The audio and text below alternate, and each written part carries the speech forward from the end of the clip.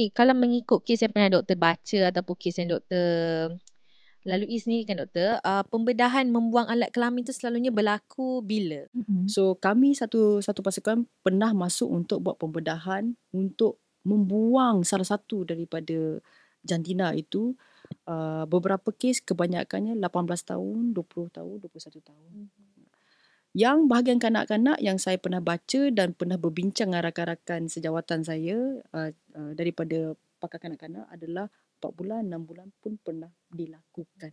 Oh, okay. Yang saya faham, kita tidak mahu buat pembedahan begitu awal. Mm-mm. Nombor satu, pembedahan terhadap baby risiko sangat tinggi. Salur kencing boleh tercedera dan salur-salur da- da- lain pun boleh tercedera. Dan kadang-kadang bila kita buat operation terlalu awal, uh, kanak-kanak itu kadang-kadang memerlukan lebih lagi operation, repeated operation. Hmm.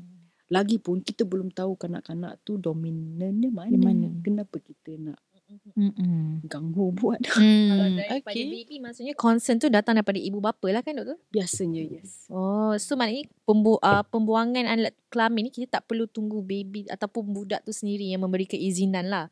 Maksudnya mak bapak pun boleh decide.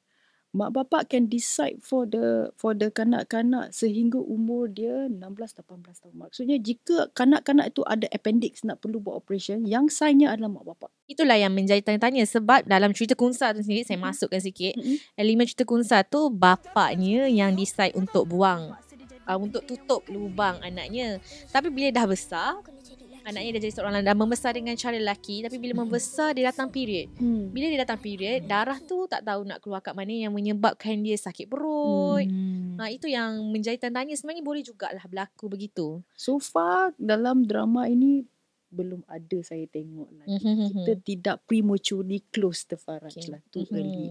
Kalau kita tahu dia adalah XX seorang wanita, kromosom wanita, kita tak sepatutnya tutup. Oh. Sebab Macam- kalau you. XX bermaksud you ada rahim. Cuma rahim tu Hmm. belum berfungsi lagi. Bila Okay. akhir balik nanti dia start Hmm. berfungsi. Mhm. Dan kalau kes macam uh, kunsa tu di mana dia kromosomnya XX tapi ada period, ada haid bermaksud kemungkinan besar datang daripada kelenjar adrenalnya. Dan Mhm. kelenjar adrenal tu dia punya severity tu bergantung pada enzim mana yang kena. Ada yang teruk, ada yang tak teruk sangat. So kalau you tutup faraj kepada wanita uh, adrenal, masalah adrenal ni terlalu awal, ini akan jadi. Okey. Tak pernah pula. So, boleh buka Hmm. balik ke doktor? Kalau macam tu. Oh.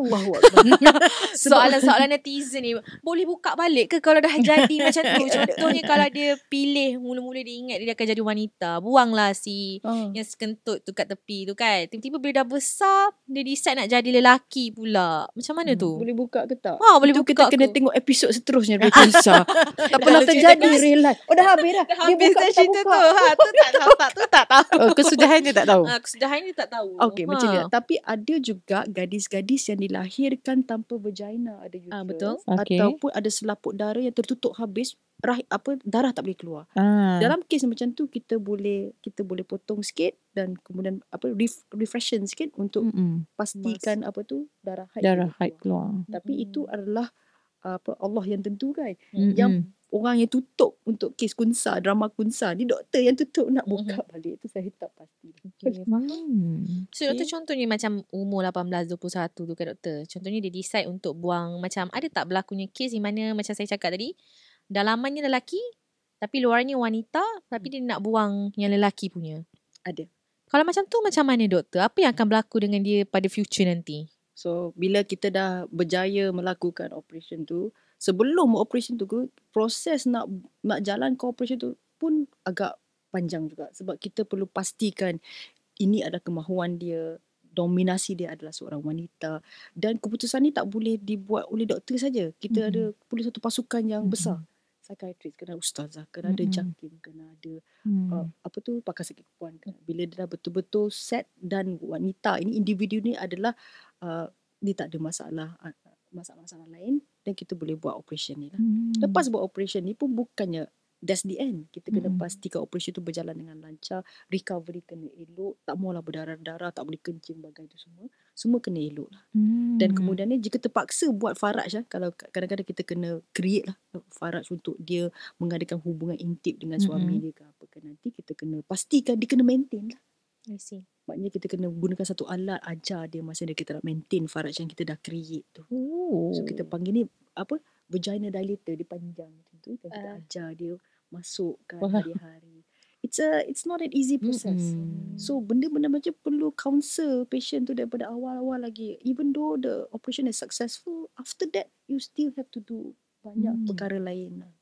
Itu andai kata dia memilih untuk menjadi gender yang tidak Hmm. ikut dominan dia lah doktor. Hmm. Tapi kalau macam tu boleh ke mengandung? Ah, itu satu Hmm. soalan yang sangat bagus. Hmm. Kalau you kromosom XX dan adanya rahim, you boleh mengandung. Hmm. I see. Walaupun dia dah bertukar, dia dah ambil jadi jadi jadi lelaki. Boleh. Oh. Bahagian saya biasanya dia dah capai akhir balik. Dia datang klinik Okey. sebab tak ada period. Hmm. Bila kita ambil darah, kromosomnya XY. Ah, Hmm. bila kita ada depan depan mata kertas kita kata XY, kita tengok dia cantik. Hmm. Buah dada ada.